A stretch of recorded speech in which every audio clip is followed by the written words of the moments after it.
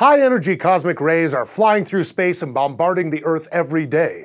We just can't see them. They're also to blame for a strange side effect of space travel mysterious flashes of light that astronauts see out of the corners of their eyes. These so called cosmic ray visual phenomena have been reported enough times that scientists are trying to research what's going on with astronaut eyeballs. But we still don't really understand why these flashes happen or how exactly cosmic rays damage eyes and nervous systems, so we can better protect our astronauts. Despite the name, cosmic rays aren't really rays of light at all. They're extremely high energy subatomic particles, mostly protons and atomic nuclei, that are being flung through space and bombarding the Earth. We're not exactly sure where cosmic rays come from. One main theory is that explosive supernovae outside of our solar system basically act like huge natural particle accelerators and generate them. Now, Earth's magnetic field is pretty good at protecting us surface dwellers from cosmic rays and other charged particles, like the ones from solar wind, by deflecting them. Lots of these energetic particles are trapped in donut-shaped bands around the Earth called the Van Allen belts,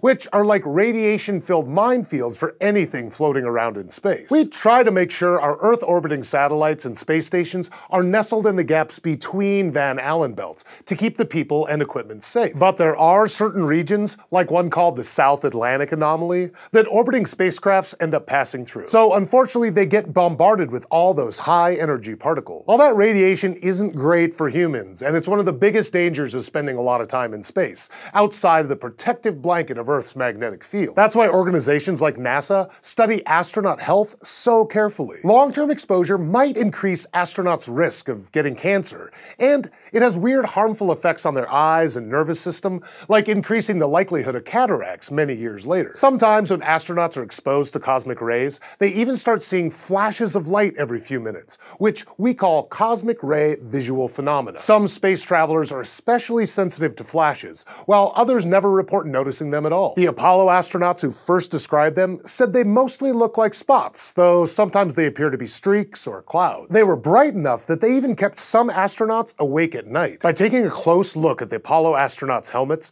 NASA was able to see tracks left by subatomic particles passing through the plastic. And in the 1970s, some ground-based scientists conducted some maybe not so super safe experiments. They had people look at a neutron beam in dark rooms, which cause similar flashes to appear in their vision. Some more modern astronauts are outfitted with special helmets with cosmic ray detectors. The astronauts keep track of when they see a flash to collect data on what types and energy levels of particles seem most likely to cause them and how often they appear in different parts of space. So we're pretty sure that cosmic rays are the cause of the lights, and researchers hope to use these data to come up with better ways to protect astronauts from cosmic radiation. But there's still a big mystery. We don't really know what's happening inside astronauts' eyeballs when these flashes occur. One possible culprit is Cherenkov radiation, which causes the blue glow you might have seen in photos of nuclear reactors. Cherenkov radiation happens when really energetic particles pass through a liquid faster than light can travel through it. These particles can interact with some of the liquid molecules, which respond by emitting some photons of light,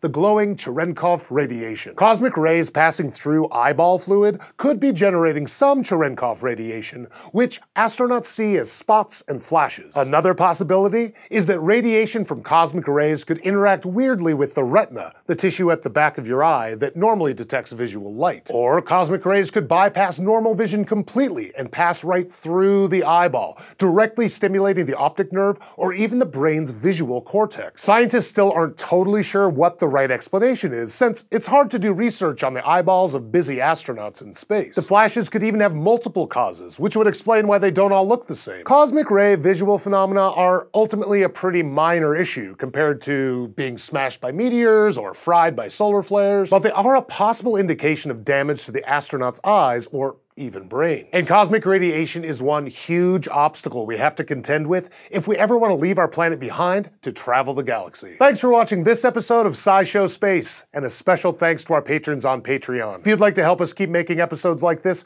go to patreon.com slash scishow to learn more. And for more videos about the universe, go to youtube.com slash scishow and subscribe. What we're doing when we try to understand what the Milky Way looks like from our position inside it. These days we know a lot about our galaxy. It's a spiral and we're about three-fifths